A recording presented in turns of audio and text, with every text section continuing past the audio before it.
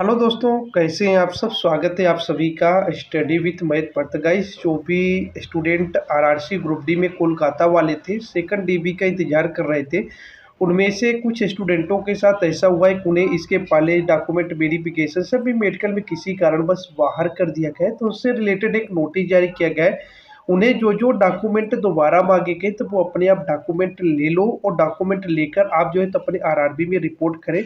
और इसका full notice जो है तो मैं वीडियो तो नहीं बना पाया, लेकिन मैं आपको टेलीग्राम पे शेयर कर दिया हूँ। फुल नोटिस को आप डाउनलोड भी कर लो आराम से राइट तो वो, उसका पूरा लिंक टेलीग्राम का आपको डिस्क्रिप्शन बॉक्स में मिल जाएगा। और ये काफ़ी अच्छा है, काफ़ी लोगों को, काफ़ी दिनों से वेट था कोलकाता तो ये आपके लिए बहुत अच्छी बात है। और रेलवे में अभी जैसे ही कोई अपडेट आएगी, मैं आपके लिए वीडियोस प्रोवाइड करा दूँगा यदि किसी प्रकार का कोई आपके मन में डाउट होता है, कोई सवाल आता है तो आप हमें कमेंट बॉक्स में कमेंट भी कर सकते मिलते हैं नेक्स्ट अपडेट के साथ। Study with math